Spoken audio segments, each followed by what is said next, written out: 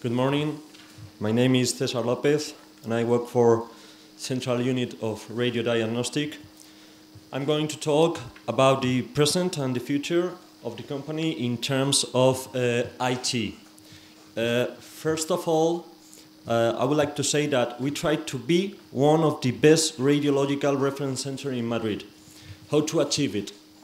Excellence based on optimization of resources, medical imaging targeted on digital imaging, teleradio teleradiology for workflow optimization, optimized data mining possibilities, digital imaging post-processing, improve biomarkers analysis, and continuous training through uh, functional work groups.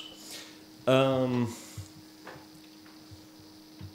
about the model systems, uh, we have uh, mm, DICOM complaint digital equipment and a network architecture based on double fiber ring with uh, 1 Gbps, eh?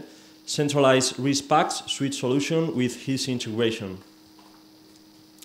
What about uh, our results? Um, scope population over uh, 1.1 million, more than uh, 650 multimodality studies increasing 10% per year, uh, 2,000 studies per day, 1.6 million PACS store studies, um, 4,000 report studies per month, report from primary care, and 93 studies report before the first 48 hours. What about uh, wish list?